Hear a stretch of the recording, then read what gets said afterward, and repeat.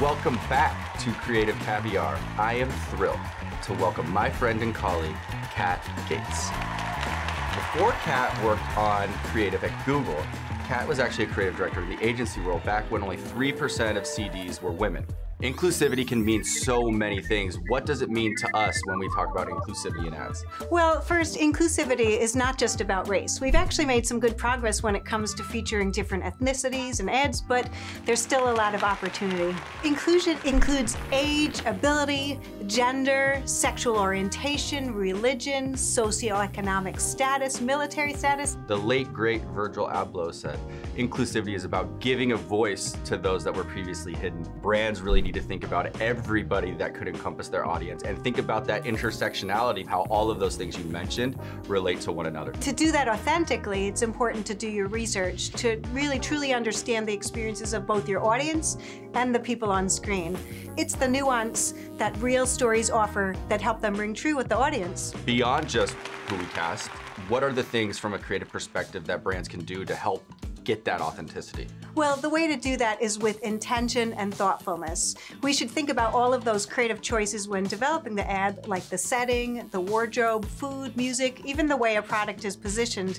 It's all of those details that are really important to build on the authenticity. You have an example for us of an ad that does this really well. Yes, that's right. We have a great example from Bobbi Brown. Hey y'all, today I'm putting Bobbi Brown's new Skin Longwear Fluid Powder Foundation to the test. Look how it starts as a liquid and sets as a powder. I need makeup that doesn't oxidize. And look, it doesn't. The color is still perfect. I love how this foundation goes on as a liquid, then dries as a powder. This matte feels great. So fresh, I'm super into it. It goes on as liquid, then sets into powder. I'm going non-stop all day, and I need makeup that stands up to sweat. I'm not shiny or sweaty at all.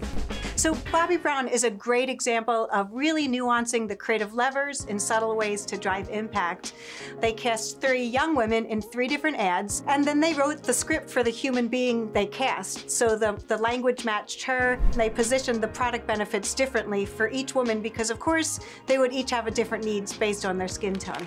We're positioning the person on screen to be as authentic and sincere as possible.